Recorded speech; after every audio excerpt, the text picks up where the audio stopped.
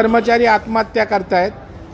मी या विषयाचं गांभीर्य सभागृहात सांगतात सभापतींनी तातडीनं या विषयावर बैठक घेऊन यांचा संप कसा मिटेल यावर मार्ग काढू अशा प्रकारची भूमिका घेतली दोन दिवसामध्ये सभापती यात तोडगा काढतील अशी अपेक्षा आहे.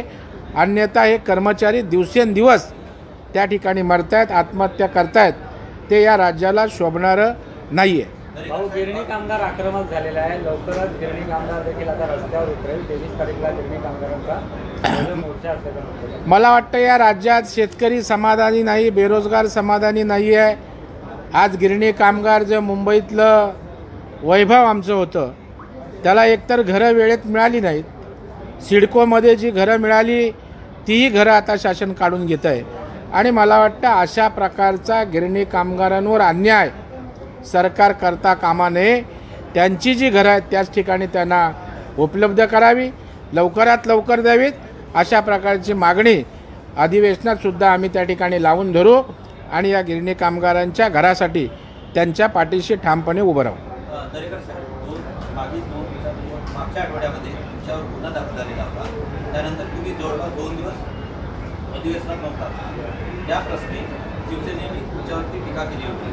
आज तुम्ही पहिल्यांदा येतात काय प्रतिक्रिया नाही ते आता टीकेला काय बोलणार त्यांना? टीका करणारा तर टीका करत राहणार. पहिल्यांदा माझे एक दिवस माझं काम होतं. न्यायालयीन काही गोष्टी करायच्या होत्या त्या केल्या. त्याच्यात काय लपून करायला तर विरोधी पक्षनेता काय लपून राहू शकतो का? टीका आपण मी इथला कोपऱ्यातला माणूस आहे. आणि लपणारे बिपणारे विरोधी पक्ष नेता नाही. म्हणून आज आलो सभागृहात ना. आणि त्याच्यामुळे त्याच्याशी आणि याच्याशी काही संबंध नाही आहे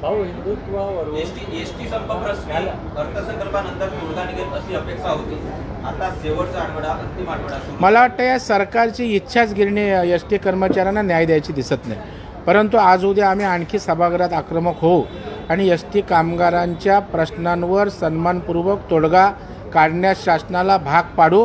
कारण आता सहन होण्यापलीकडे यांच्या आत्महत्याने एकूण आंदोलन गेलेलं आहे. अहो संजय राऊत म्हणाले भाजपने आम्हाला हिंदुत्व शिकवू नये आणि एम आय एम ही भाजपची बी टीम आहे. आणि ते एम आय एम सारखं पिल्लू सोडलं अशा चर्चा करण्यात मला वाटतं ज्या दिवशी काँग्रेस राष्ट्रवादीबरोबर सरकार बनवलं त्याच वेळेला हिंदुत्वावर टीका करणाऱ्यांशी मांडीला मांडी लावून बसलेत आणि नंतरच्या भूमिका आपण पाहिल्यात.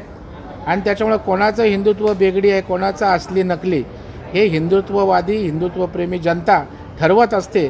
त्यांना काय वाटतं याच्यावर हिंदुत्व नाही.